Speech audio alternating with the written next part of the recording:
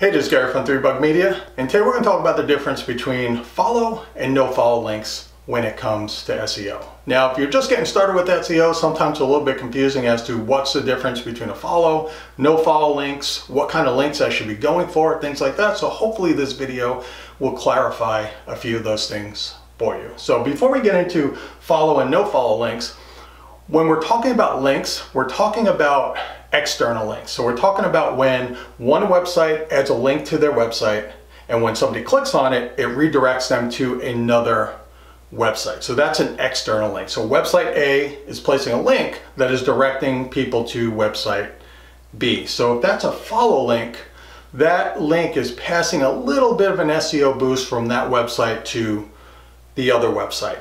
When it's a no follow link, then that link is not passing any sort of benefit as far as SEO goes to one website to the other website. Now, when it comes to follow links, inbound links can boost your SEO. So the more links that you're getting, the better, because each one of those links can boost, give you a little bit of a boost as far as SEO goes. So think of it as a link as when one website gives a link to your website, they're passing a little bit of a trust and a little bit of authority and recommendation from their website to your website. So when Google sees that, it's a little bit of a trust signal and it's a little bit of a boost for your SEO. So the more links you get, traditionally, the more of the boost you're going to get for your SEO. It'll increase rankings for specific pages. So if you're getting links for, you know, for your website, overall it will help your website, but when you're getting links to specific pages on your website, it will also help with the rankings and the SEO authority for those individual pages as well.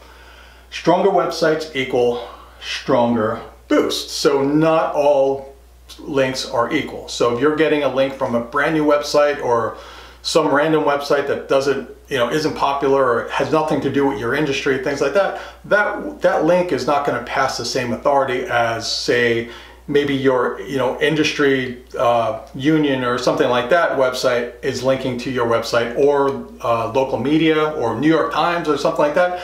Basically, the stronger the website, the stronger the boost in SEO that link is going to give you. Now, when it comes to no follow links, basically a no follow link is a link except it has a little tag on it. And that tag is what we call a, a rel equals no follow. So when Google sees that link, they'll read that no follow tag and that's basically telling Google that I am linking to another website but I do not want you to pass any sort of authority through this link from our website to that website and it's not to be taken as a recommendation for this website. So when it comes to no follow links, you'll see them on social media. Pretty much all social media links are no follow. Uh, forums, uh, groups online, things like that. Any place basically where you can add that link yourself is almost always going to be a no follow link to avoid spam because if they're all follow links then people will just start stuffing links everywhere so almost all of these places where you have the ability to add your own links is going to be a no follow link now they do not directly help with SEO these links do not pass any sort of authority from one website to another, but small caveat when it comes to local SEO, they can still help a little bit. It kind of depends. So with local SEO, we talk about citations, and a citation is simply a mention of your business or brand online, regardless if it's a link or it's just text on a page. So even if a link is no follow, if it has descriptive anchor text, so instead of just saying yourwebsite.com or click here, it says Joe's Pizza or you know the best pizza in Charlotte or something like that,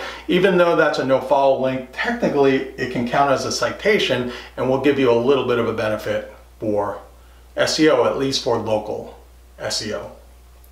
And it also provides secondary benefits. So while it's not a direct SEO benefit, that link, having links in general, even if they're no follow, will have secondary benefits. So number one, it will drive more traffic to your website, get more readers, get more visitors to your website, to those pages, and it can lead to more social shares, more mentions of your business online, like we're talking about getting more citations, mentions for your business.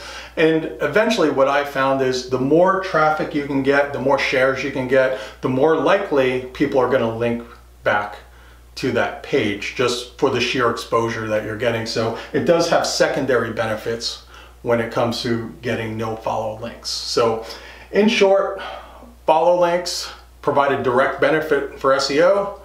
No follow links do not provide a direct benefit for SEO, but they can provide some secondary types of benefits in the form of more traffic, social shares, and eventually more links just due to getting more exposure uh, to different people.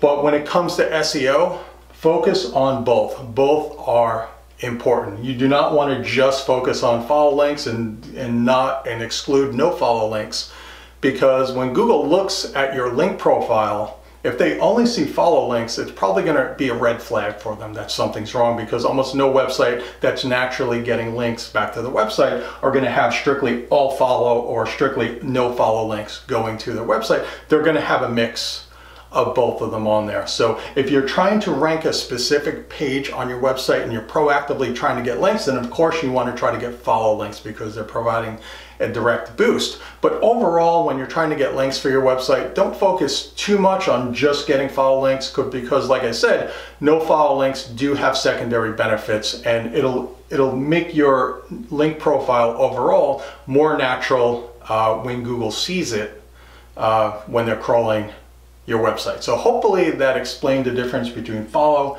and no follow links. Both are important, but there are some key differences between the two. If you want to learn more about local marketing, SEO, things like that, you can go to 3bugmedia.com. Thank you very much and have a good day.